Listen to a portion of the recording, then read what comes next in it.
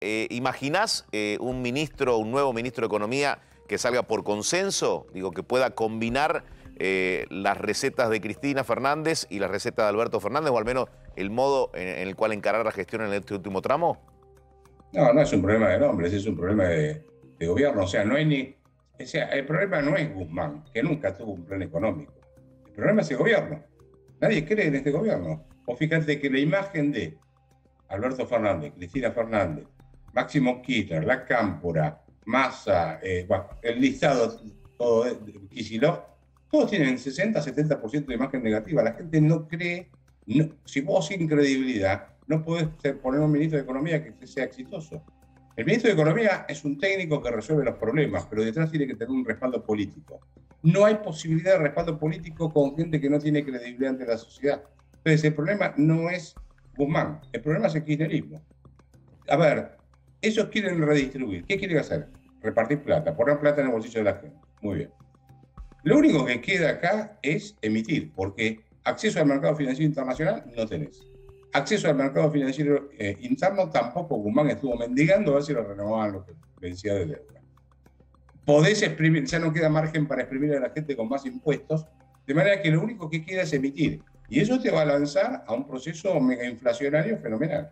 Argentina va camino a, a ese, a ese proceso o bien hacia algo parecido del 75 con el Rodegazo cuando se ajustaron los precios relativos de la tarifa de los servicios públicos, etcétera, y terminaste en una catástrofe económica. Eh, digo, este gobierno no tiene posibilidad alguna, insisto, no tiene posibilidad alguna de revertir la caída libre en la que está la Argentina, porque no es creíble. A ver, el próximo ministro de Economía será eh, mucho menos Guzmán, digo, en la gestión. Es decir, eh, tendrá muchas menos cosas de Guzmán, porque claramente con el discurso de Cristina de hoy y con los movimientos de esta última semana y con una tensión política eh, que cada vez es más grande en el frente de todos, se puede decir que un punto para Cristina, digo, con la salida de Guzmán. Sí, pero va a arrastrar al gobierno a una crisis mayor. O sea, vos- a ver, ¿No descomprime Guzmán, la pues- salida de Guzmán? No, si descomprime, Sí. Y pero, a ver, pero ¿qué, qué es lo que puede llegar a ser el próximo ministro de Economía diferente a lo que está haciendo Guzmán? ¿Emitir más moneda como quiere Cristina? Bueno, te vas a un proceso de mega inflación. Y anda a buscar el dólar a cualquier nivel. Eh, entonces, ¿qué- a ver, ¿quién va a invertir en la Argentina si no tenés dólares para importar insumos básicos? ¿Qué quiere que va, van a poner más cepo cambiario como quiere Cristina? Entonces, vas a tener la economía paralizada y con un proceso inflacionario fenomenal. O sea que acá, a ver, Alberto Fernández viene manejando el auto a 170 kilómetros por hora y tiene la curva a, dos- a 150 metros. Y Cristina le dice, acelera de 150 a 350 kilómetros por hora. Bueno, tenés que buscar a alguien que ponga el, el auto en algún nivel entre los dos, entre 150 y 300 con la curva en la, en la esquina. Te vas a pegar la pilla de todas maneras. El problema no es Guzmán, el problema es el gobierno. Aquí hay que prestarle atención la semana entrante. ¿A, a qué variables económicas, Roberto?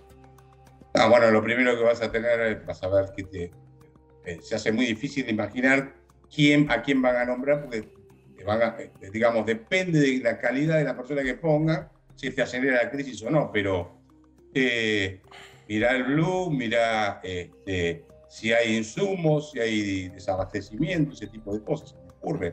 Así como primera reflexión, ¿no es cierto? Dentro de lo que hay disponible. Y el nuevo no ministro, quién lo va a reemplazar. A ver, sin conocerse el nombre, el nuevo ministro, ¿qué señales Sí. debiera dar para aquietar las aguas? Eh, el ministro saliente, Guzmán, hablaba de tranquilidad en uno de los párrafos de la carta de renuncia. Digo, ¿cómo haces para serenar eh, la, la tensión política y lo que está ocurriendo, el ruido político? Pero es que entre ellos no se ponen de acuerdo. El problema es que están peleados Cristina con eh, Alberto Fernández, ¿sí? Y no parece haber mucha paz, porque acaba de tirarle, de- no sé, no vi el discurso completo de Cristina, pero no fue muy condescendiente con Alberto Fernández, entiendo. Y Alberto Fernández ayer también le contestó con que...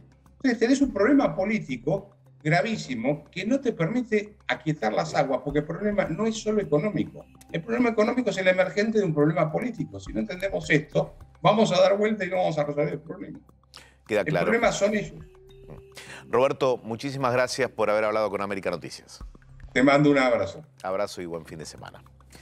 Bueno, una tarde movida, me cambió absolutamente eh, el noticiero y todo lo que teníamos planificado porque, lógicamente, desde la palabra de la vicepresidenta de la Nación en Ensenada, un discurso muy fuerte, y la renuncia de Martín Guzmán, eh, que atravesó justamente ese discurso porque se conoció a partir de las 17.47, ¿no? En Twitter, bueno, cambió todo el escenario del fin de semana en materia eh, informativa.